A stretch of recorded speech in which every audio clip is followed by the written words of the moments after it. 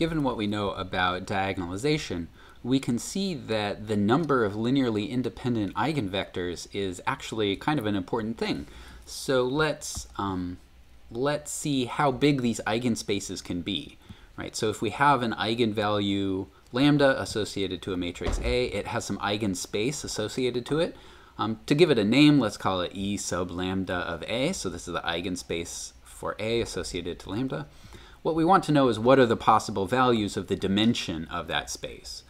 Well, we know since it's an eigenspace, it has to be at least one-dimensional, right? There has to be some non-zero eigenvector associated to lambda, otherwise lambda wouldn't be an eigenvalue.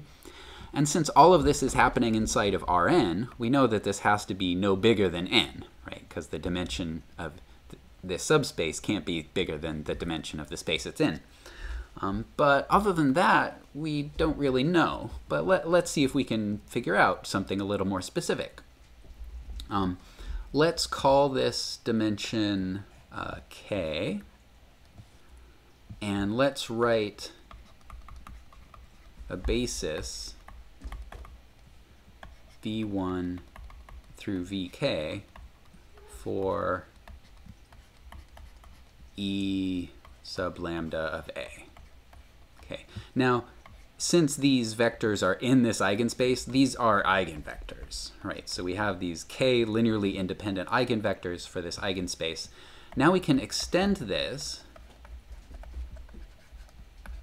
to a basis v1 up to vk and then extend to vk plus 1 up to vn to a basis for all of Rn. Okay, so the first k vectors here are a basis for the eigenspace, and all of the vectors are a basis for Rn. Okay. Um, well, now we can, uh, what I'm going to do with this basis is use it to transform the matrix A into sort of a more convenient form.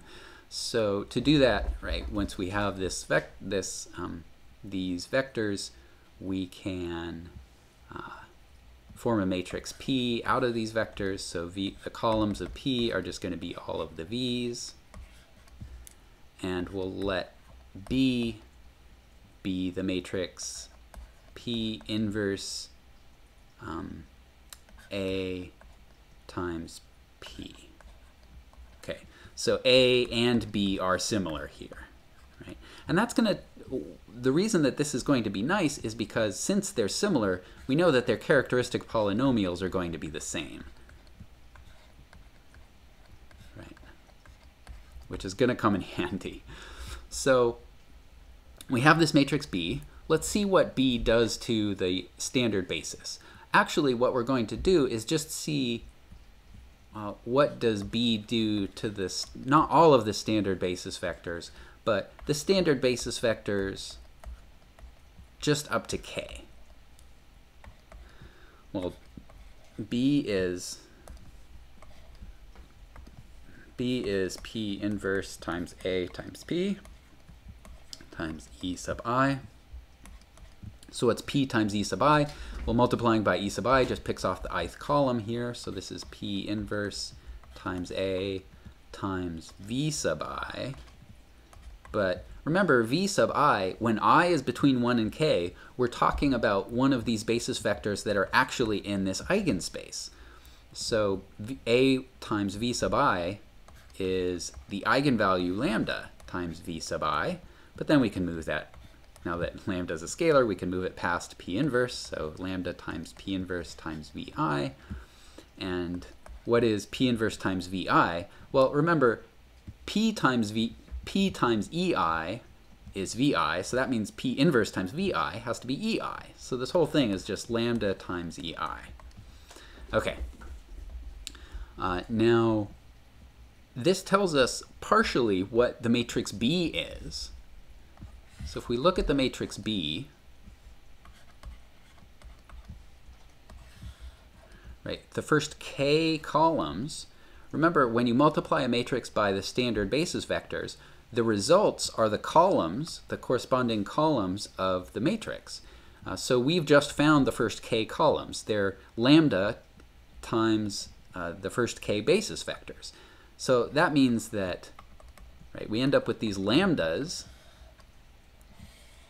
down the uh, this first part of the diagonal. So this is the first m, uh, the, sorry, the first k columns of the matrix. And below we have zeros here. Now we still don't know what's in the upper right or the lower right portions of this matrix. Okay, But the key thing here is now when we find the characteristic polynomial, um, when we find the characteristic polynomial for this matrix, right, I, I can't use lambda for the variable because lambda shows up here, so I guess I better write it as um, x i minus b. So if you imagine calculating um, the characteristic polynomial here, because we have just zeros, and because this upper left portion is diagonal and this lower left portion is all zeros, when we do the determinant to calculate this characteristic polynomial, we're just going to get part of the determinant is going to be just the product of the diagonal entries down this upper left-hand piece. So we're going to get a bunch of terms that look like x minus lambda, but how many of them will all be multiplied together? Well, there will be one for every place lambda shows up down here, but there's k of those. So k times some other polynomial here. So some other polynomial. Now, this polynomial f, it might have more factors of x minus lambda, right? So um, So it's possible that to write this as x minus lambda to some power m times some other polynomial, g of x, where m is bigger than k, right? There might be, in this characteristic polynomial, there might be more factors of x minus lambda hiding uh, inside of f of x over here. So the way I've written it down here, I'm assuming that I've taken all of the factors of x minus lambda out of this other polynomial and I've put them all together here, right? So, um, so k, this was the dimension of the eigenspace associated to, well, sorry, K is the dimension of the eigenspace associated to, yeah, the eigenspace associated to A. And what we found is that this is less than or equal to the multiplicity of lambda as a root of the characteristic polynomial of b. But remember, the characteristic polynomial of b is the same as the characteristic polynomial of a. Okay, so uh, this shows us that the dimension of this eigenspace can be no larger than the mul multiplicity of lambda as a root of this polynomial. And that's something that we didn't know before. Uh, so the, the multiplicity of lambda as a, as a root of the characteristic polynomial, this is called the algebraic, algebraic multiplicity of lambda. And the dimension of the eigenspace associated to lambda, this is called the geometric multiplicity of lambda.